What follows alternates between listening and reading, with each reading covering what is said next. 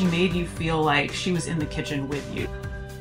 When people receive the things that they need, they grow physically, spiritually, emotionally. I completely support what he's doing. It means the world to me.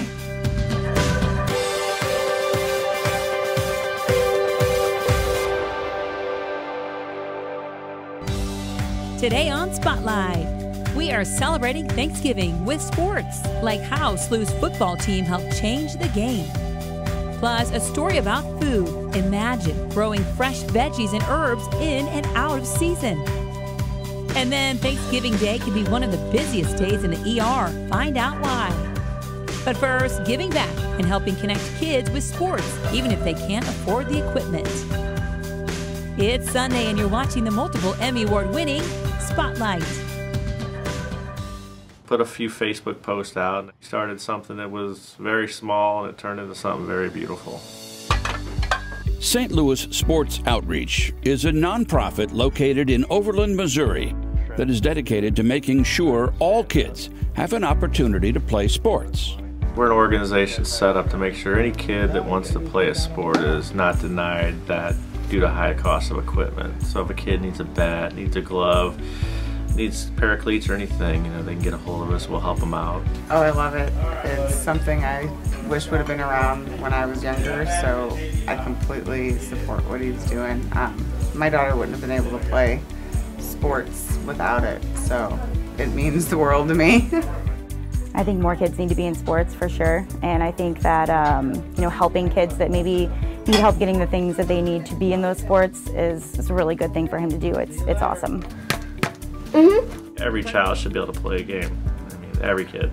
It gets them out of the house. It gets them off the video games. You know, it teaches them. It teaches them humility. You know, I mean, everybody needs a dose of humility, and these kids get out there and they have fun. They they play nonstop. Sports Outreach doesn't charge for their equipment. They also accept trade ins, letting parents replace outgrown equipment with new sizes.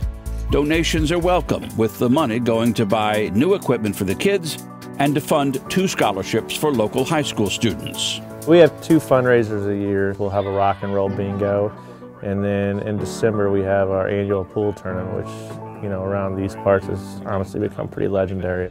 STL YSO seeks to ease the burden on struggling families whose children wish to play organized sports. That's nice. This helps promote an active and healthy lifestyle for all of our children. The organization caught the attention of TV host Mike Rowe. He featured St. Louis Sports Outreach on his Facebook Watch show, Returning the Favor. And then when Mike Rowe walked in the room, I was they got me fair and square. It was pretty. Uh, it was fun. It was like a whirlwind those two or three days. It was fun. You know, down to Busch Stadium with them, hanging out, the talks. You know, they donated um, about thirty thousand dollars in equipment. They gave us ten thousand dollars in cash. We put that all in a trust for our college scholarship. So it was definitely an experience, once in a lifetime experience for sure. Sports Outreach provides more than sporting equipment. They also help out in the community, holding toy and diaper drives and buying presents for sick kids around the holidays. We love it. I just try to make everybody aware of what he's doing and get as much support behind him as we can. To see the smile on their faces, it, it makes it all worthwhile. Thank you, thank you guys. See you guys. Good night. HEC Media, recognized, celebrated, honored time and again for excellence in the industry. Find all of the award winning content at hecmedia.org. History Spotlight, brought to you by HEC Media and the Missouri Historical Society. Hello, I'm Dr. Jody Sowell, President of the Missouri Historical Society in St. Louis, and this is History Spotlight. Football gained popularity in the late 19th century, but it was a much different game than the one we know today. Public historian Adam Kloppe explains how the 1906 St. Louis University football team played a role in this change. For millions of Americans, every weekend between September and January is about football. But all those people kind of owe a debt of gratitude to a team from St. Louis from the early 20th century that really helped change the way that football is played in America today. So let's back up a little bit. Football starts gaining popularity in the United States in the late 19th century, but it's a much different game than what people today would be expecting. One of the biggest differences is that the only way to advance the ball down the field back then was to run the ball past the line of scrimmage, meaning a running back would take the ball and move it past the line of scrimmage to try to advance the ball downfield. And what that led to was huge scrums of defensive players around that ball carrier trying to take him down. And those scrums could end up being pretty violent. You know, people would be trying to rip the ball away and twist the guy's fingers to get the ball out and everything. And it led to a lot of injuries. But those injuries are more than twisted ankles and stuff. You know, people broke their neck, they broke their back. In 1905 alone, 18 people died playing football in America. It was becoming a huge problem. And there was activists who were advocating that football should be banned because of the violence of the sport. And of course, there were other people that wanted to try to save football, to find a way to change it to make it a little bit safer. One of those people who supported keeping football around was the president at the time, Teddy Roosevelt. And in 1905, he calls for a conference at the White House from leading football coaches and strategists and people involved in the game to try to come up with some rule changes that could help save football and preserve it into the future. And one of the rule changes they walk away with is to allow for the forward pass in football, where a quarterback can take the ball and throw it past the line of scrimmage to an eligible receiver downfield to try to gain yardage. And the hope was that this would spread out defenses a little bit, right? So you wouldn't have scrums of people around the line of scrimmage, they'd have to cover eligible receivers. But a lot of critics thought this isn't going to work at all, that defenders will just bump receivers off their paths, quarterbacks won't be accurate enough. It just wouldn't be an effective way to run an offensive football. That all changes in September of 1906. That year, in a game on September 5th, St. Louis University quarterback Bradbury Robinson completes the first forward pass in football history. He throws a 20 yard touchdown pass to an eligible receiver named Jack Schneider. And this is not the only forward pass that SLU throws that year. Their entire offense is built around this fast aerial attack. And they're a really good team. They go undefeated in that 1906 season. And even before the season is over, other coaches from around the country are contacting SLU coach Eddie Cochems to try to get some tips from him about how to implement the forward pass into their game. And it completely changes the way that football is played in America today. So for all those millions of people that watch football every weekend in the United States, they kind of owe a debt of gratitude to the St. Louis University team in 1906 that showed just how effective the forward pass could be. Next on History Spotlight, a court case that sent shockwaves through the country. To learn more about the Missouri Historical Society, visit mohistory.org. HEC Media, bringing you culture and community. Find all of HEC's positive programming and award winning content at hecmedia.org. Under the roof of this food distribution warehouse, something out of the ordinary is happening. We have about 150 heads of leaf lettuce growing, green leaf lettuce. This hydroponics farm can be used indoors and in any season. So we can grow lettuce in winter. Normally you wouldn't be able to get lettuce unless you have some sort of greenhouse, but now we can get lettuce any time of the year. Operation Food Search, a nonprofit hunger relief organization, is the first food bank in St. Louis to receive the Flex Farms. These indoor systems were a donation from United Healthcare Community Plan and Fork Farms. We were started as a rescue food bank in 1981 by some local concerned residents who knew there were people who didn't have access to healthy food. Since then, the organization has evolved with more than $35 million worth of food going out into the St. Louis region each year. Um, that translates into more than 200,000 people receiving food through our organization's partners each month here in the region. The flex farms are named Demeter and Ceres after the Greek and Roman goddesses of agriculture. They can yield 25 pounds of produce per month. One farm can serve nearly 2,000 families per year with a harvest of 3,400 plants. Umberger says the flex farms don't use any pesticides or herbicides. They're energy efficient and easy to maintain. Operation Food Search primarily serves low income families. Health officials say it's important for all families to have access to fresh vegetables all year long. Families that do not have adequate access to fresh vegetables are considered food insecure. And officials say fresh vegetables are vital to healthy eating and key to combating chronic disease such as high blood pressure and diabetes.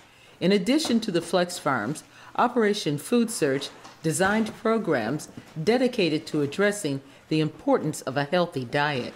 We have FreshRx Nourishing Healthy Starts and then FreshRx Prescribing Healthy Futures. So FreshRx Nourishing Healthy Starts works with pregnant women up through 60 days postpartum that are experiencing food insecurity. And so it's a food as medicine program that provides a weekly meal kit to the program participant and anyone else in their household. We also have the Prescribing Healthy Futures program, which serves children with diabetes and their families. Working with kids with diabetes is in response to a disproportionately high rate of uh, pediatric diabetes, particularly in low income areas. So they're doing the majority of their food shopping at corner stores or gas stations that don't have access to fresh produce and vegetables and all of that. Their only food option comes from packaged food and that processed food. They're not getting those nutrients they need. Eventually, that can lead to earlier and earlier onsets of diabetes and obesity, kind of all as a symptom of that food insecurity. Other factors such as lack of access to nutritious, affordable food and transportation, have an enormous impact on a person's health. Operation Food Search says it is committed to providing nutrition and health information to the community. We have a responsibility to not only meet that immediate need for families right now, but also to look to the future and how can we make the future better every organization that works with families needs to be a part of thinking long term about how we get to a point where food banks are only needed when people have some sort of crisis that they're going through, that it doesn't become an intergenerational coping strategy just to survive. But for now, Operation Food Search focuses on the daily nutritional needs of families who are suffering from food insecurity. I think that this opportunity to have greens grown in-house gives us an opportunity to connect with our families in a way that they know where the food is coming from and they know how it's getting to them. Scan the QR code on your screen to follow us on Facebook, Twitter, or Instagram. While everyone has their own Thanksgiving Day traditions, hopefully a trip to the emergency room isn't one of them. The holidays definitely bring in more patients into emergency rooms and urgent cares. And Thanksgiving Day can be one of the busiest days for emergency rooms. But Mercy nurse practitioner Jerry Power says not everyone needs to go to the ER. The doors of urgent cares are open and waiting for the accidents and other urgent medical needs that happen on the day that families gather, cook turkey, eat, drink, and play. Uh, certainly, as people get together and there's more cooking, there's more cooking related injuries. Uh, so, even minor cuts, minor burns are things that we'll see increased frequency of in an urgent care setting. The top reasons why people suddenly end up in the emergency rooms and urgent cares on Thanksgiving start with turkey troubles. There's certainly the risk, just even minor burns, but the frying of a turkey uh, out in front of the garage, and those can, of course, be dangerous. Uh, you'll hear many a story of a firefighter who has responded to a house fire started by uh, too much oil when the turkey gets dumped in there. It's not just the turkey cooking, it's the carving catastrophes too. But don't always blame the turkey.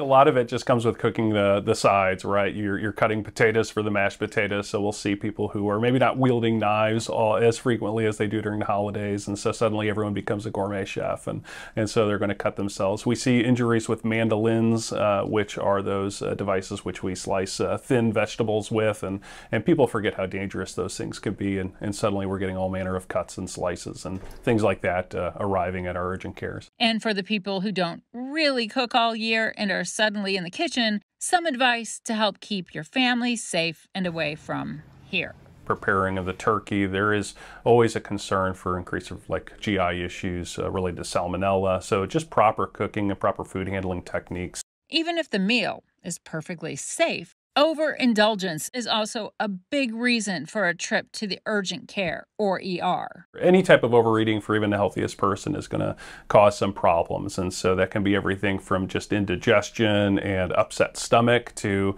uh, things like, you know, uh, the GI issues such as diarrhea or constipation.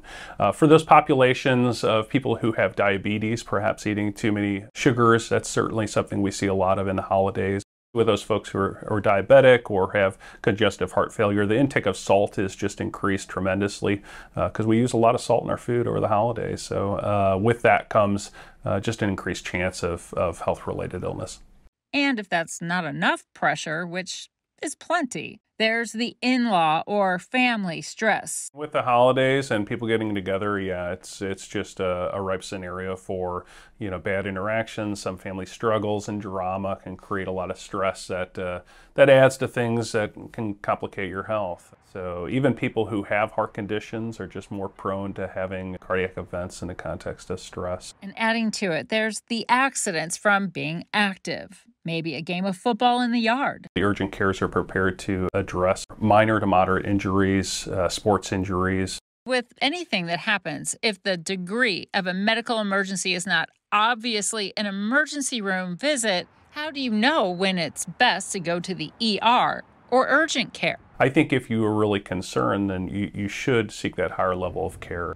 You always have the opportunity to call either your primary care or if you don't have primary care, you can even call one of the Mercy Go Health urgent cares and talk to one of the clinicians and they can kind of direct you in a way to go. Building beds for a better future later on Spotlight. Finding a recipe these days is fast and easy. Just hop online and search. But the authors of the ninth edition of Joy of Cooking will tell you their recipes are tried and true. Just think of it as a very heavily curated and fact checked internet. John Becker should know he's the great grandson of Irma Rombauer, the St. Louis woman who authored and self published the first edition in 1931. Nearly 60 years later, in 2019, Becker and his wife Megan Scott published the latest edition, adding 600 new recipes after several years of testing. It was the first cookbook that I ever uh, bought for myself, but I picked it up because I, I knew it had a reputation for having everything that you would need to know as a cook. Joy of Cooking has raised a nation of home cooks, over 20 million of us. But when the cookbook made its debut, it was at a time in American history when finding joy was as scarce as finding a job. In the early 1930s, Americans were in the throes of the Great Depression. With no work, People lined up outside soup kitchens, and families struggled to put food on the table.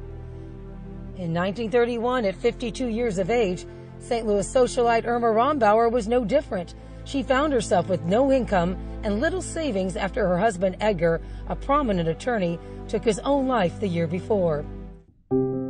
Biographer Anne Mendelson writes in Standing Facing the Stove that Rombauer was strong willed, intelligent, forthright, and artistic. Born to German immigrants in 1877, Rombauer spent most of her life in St. Louis, aside from a few years overseas when her father, Dr. Maximilian von Starkloff, served as a diplomat. Their home still stands at Compton and Longfellow. Mendelson also writes that Rombauer is known for being an engaging hostess and was president of the Wednesday Club, a St. Louis social club for women who wanted to gain knowledge and take part in civic projects. Inspired by a successful cookbook published to support a St. Louis children's home, and at the urging of her two grown children, Marion and Edgar, Rombauer went to work writing her own version, despite her lack of cooking experience. Irma grew up with household servants and she had a cook. And so she, when she found herself in reduced circumstances after her husband's death, I think a lot of it was due to she was kind of approaching the kitchen anew and learning a, not, a lot of new things for herself as well. She gathered recipes from church friends, pals at the Wednesday Club, and her family, testing them all and adding witty comments on not only how to prepare the food, but how to serve it. This is something great to have like on hand, you know, in case, you know, your neighbor stops by. So it's a lot of that sort of that you can definitely see that hostess and kind of entertaining background. The result was The Joy of Cooking, a compilation of reliable recipes with a casual culinary chat. It's the family miracle for real. I'm for, yes, pretty much how we feel about it. Her daughter Marion illustrated the cover, a simple drawing of St. Martha, the patron saint of cooking who wielded a mop to fight off the dragon Tarrasque. Five years after her first edition, Rombauer found a publisher, Bobbs-Merrill. Together, they introduced Joy of Cooking to the world. Yeah, that's a really remarkable thing to me is that she kind of embarked on this career in her midlife and she had no prior experience as a writer and she seemed to embrace it with a sense of humor and I think that's what came across in that early edition especially and what really endeared her to so many readers is that she really was just a personable individual and she made you feel like she was in the kitchen with you. Bonjour, my friends. This is Irma Rombauer. But one of Rombauer's biggest fans was Julia Child. The first edition of The Joy of Cooking took me a year to write. Their relationship was briefly depicted in the Nora Ephron movie Julie and Julia, of which the family is not a fan. Let's just say that there was something lost in that that uh, treatment of Irma. Uh, you know, for instance, I don't think that Irma would have been so forthcoming with her husband's suicide. From Irma to her daughter Marion, to her son Ethan Becker, and from Ethan to his son John and wife Megan, there's been a new edition roughly every decade. We don't want Joy to just become a museum piece. We don't want it to be irrelevant. We want it to continue to be a helpful cookbook for home cooks. So we tried very much to stay in that spirit when we were revising it. The 1943 edition gave space for wartime rationing. In 1951, new appliances like blenders and freezers came into the picture and into the book. So this one is the 1975 edition. So this is the one that sold over 6 million copies, so the most popular one. Magdalene Link is a researcher at the Missouri Historical Library. She says since so few copies were printed in 1931, that first edition is tough to find. Is it rare to find signed copies of The Joy of Cooking by Irma Rombauer?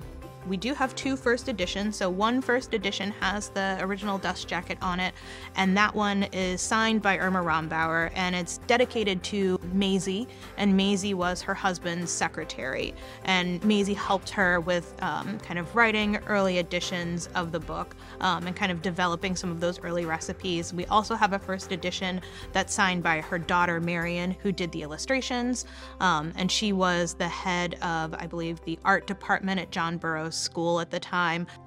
Irma Rombauer died in St. Louis in 1962. Her tomb at Bellefontaine Cemetery is often visited by fans. She is memorialized with a star along St. Louis's Walk of Fame in the Delmar Loop, which Becker and Scott visited in 2011.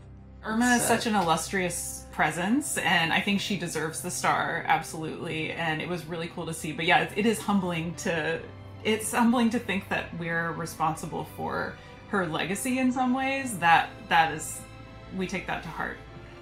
Becker and Scott are already making plans for Joy's 100th anniversary edition in 2031. For now, follow along in their kitchen on Instagram at the official Joy of Cooking. You can find the stories featured in today's show along with past episodes and more at hecmedia.org forward slash spotlight. This is what's known as Build Day. Eight years ago, Steve McLean heard about a unique volunteer opportunity where he could put his woodworking skills to good use. Sleep in Heavenly Peace is an organization that makes uh, beds for kids, simply put. But there was a problem. The nearest chapter was in Kansas City. And I thought, gosh darn it, why aren't there somebody here in St. Louis with a chapter? And as soon as I said that, I thought, uh, actually, why don't I build, start a chapter here in St. Louis? He enlisted the help of fellow members at Arlington United Methodist Church in Bridgeton. The need in the St. Louis region is great. Roughly 26,000 children do not have beds. We just cannot understand the effect that having a bed can be for someone in a in their rest, in their psych, you know, psychology, any of those things. They develop better when they have basic comforts, basic needs met. And so we have communities where people they don't have beds. Children do not have beds. We get to tangibly give them these things. We get to be a part of that. I really enjoy it. Volunteer Terry Lasico has been part of several builds. It's a good thing for me to get out and feel like I'm participating in something important for my community. The best part, she says, is delivering the beds. I admire the fact that people are out there struggling to do everything they can to make things work and have the bravery to call and say, I need a hand. So if I could be the hand, I want to be the hand. And on a cool, crisp fall afternoon, a connection as volunteers arrive at this North County home.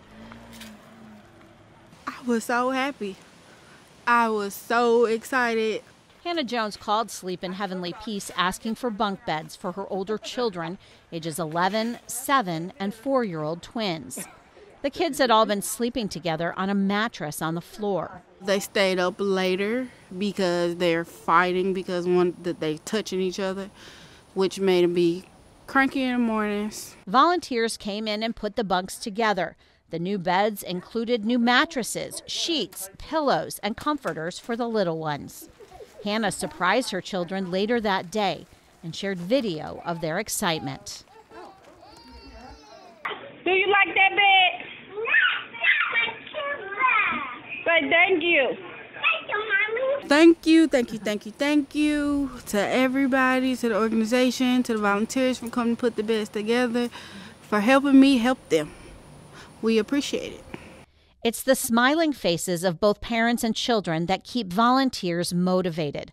Between the Alton and St. Louis chapters, hundreds of children have new beds. Both groups recently took part in Bunks Across America, a national drive to build more than 5,000 new beds. We do not require any experience. Organizers say any adult and older child can volunteer. On this day, volunteers from the Way Church in Wentzville helped with the build. One of the nice things about the way they set up the builds is they break it down into very simple tasks. We can show you what you need to do in about five minutes, and the experience level goes from people that actually do construction and, and woodworking down to people who've never picked up a drill before. Companies, churches, and other groups can sponsor a build and provide volunteers as well. Right now, there's a waiting list of about 50 beds. We have delivered to kids that don't even know what a bed is. We were hauling stuff into their homes, and they thought they were going to get a mattress to lay on the floor. That was to them what bed was. They had no idea what the wood was for, what all the pillows and all that. They didn't know. And so the excitement that you see on their faces and the relief you see on the parents' faces is um, is very rewarding. And and that's really why we do this is for the kids. When people receive the things that they need, they grow. They grow physically, spiritually, emotionally, everything. It just it's better. And so being able to do something like this, this tangible act of, hey, here, um, it just helps exponentially in ways that I think we don't even find out until later when these when these young children have grown. Next week, a local student competes in a worldwide programming competition just for girls. Plus, an artist's new album shares an uplifting message for today's world. Thanks for watching Spotlight. Join us next Sunday at 9:30 a.m. on KPLR 11.